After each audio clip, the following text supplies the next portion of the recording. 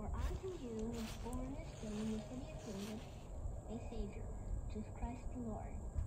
And this shall be a sign unto you. You shall find the babe wrapped in swaddling clothes, lying in a manger. And suddenly there was with the angel a multitude of the heavenly host praising God